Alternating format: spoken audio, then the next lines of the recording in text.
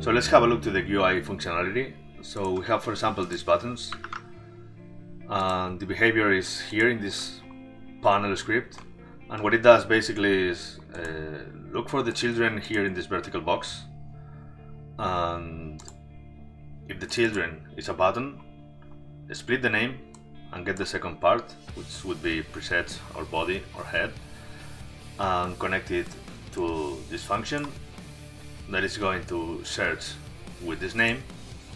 If it's a vertical box container and the name is the same, you are going to hide or collapse. Quite simple. So for the preset buttons, they are just simple buttons that are contained here in a grid container.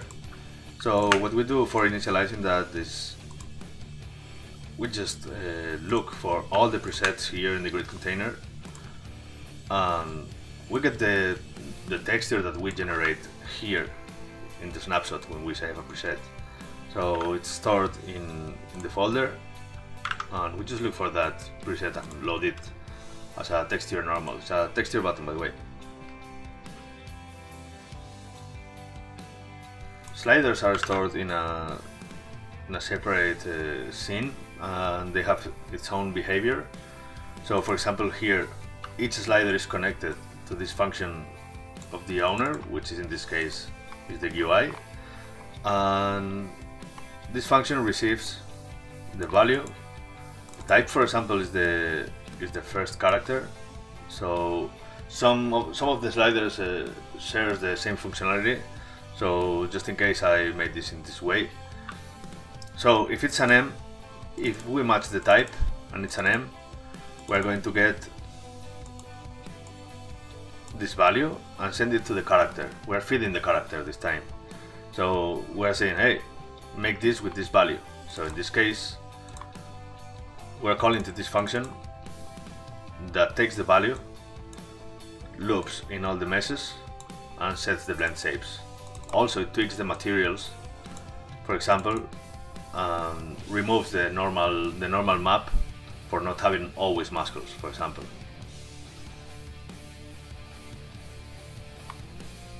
All the sliders are initialized here in the ready function. We call the init values function and this is pretty much hard coded because its uh, slider needs its own properties.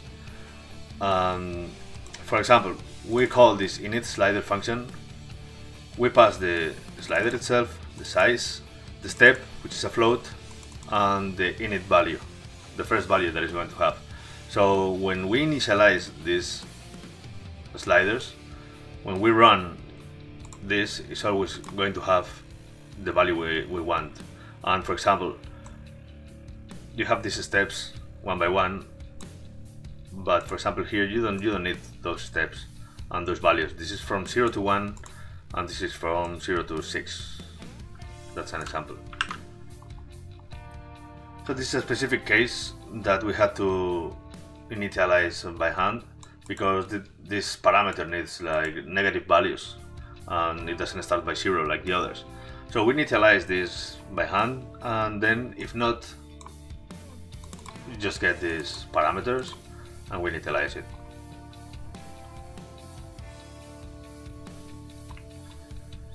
So color presets are just buttons and for each color I stored here in a dictionary for example the skin tones I got the tone 1, tone 2, it has to have the same name of the buttons and I did some different colors here.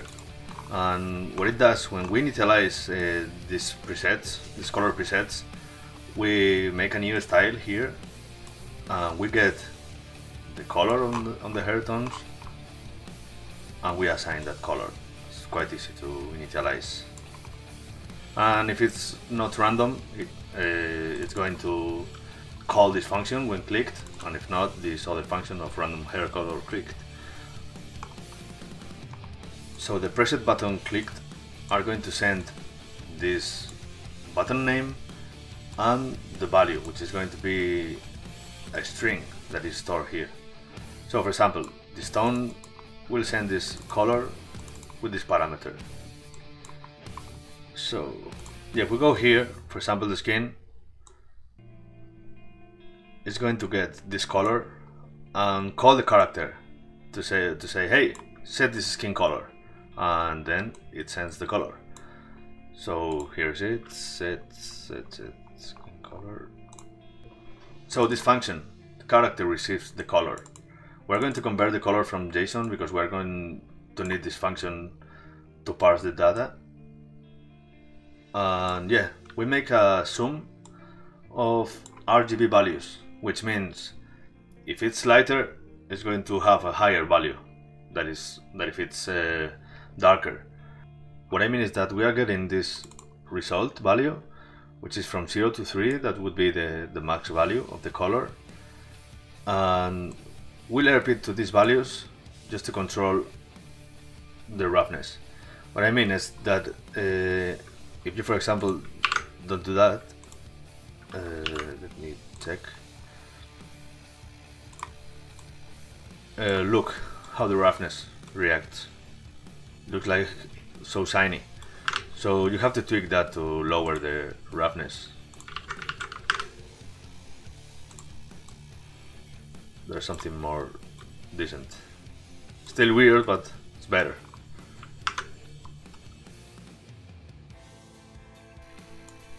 So finally we have these color selectors that works in a way like the sliders and in the way that I mean that they connect itself with the owners by sending signals when they are changed. Uh, so in this case we are we are sending the signal with these parameters that we get from splitting the name, which in this case for example would be skin tone body. Skin tone would be the parameter, body would be the material. So uh, send the parameter and if material is body we say hey set skin color. But if for example it's an eye color we want to change this. It's going to get the material because it's unique already. It's going to send the parameter the material and this color. So character receives that and depending on the part it gets the eye material that we stored previously in a reference and okay gets the material and sets this parameter. That's it. If you want to get rid of this ugly stuff that looks weird in a video game honestly uh, you always can navigate to the remote panel navigate to this color picker and see which is children of what or which is its thing. So just you just go here and hide it this by the way is for placing the color selector itself it's going to take the rect size of the panel in the X axis and the global mouse with an offset for the Y axis. So in this way it's going to be always placed near the mouse and at the right side of the panel. Yeah, and everything works more or less in the same way, following the same guide, same system. So I think it's easy to understand what's happening with each parameter. You're sending always information to the same functions to the character, so I hope it's clear. If not, leave me a comment and I will help you.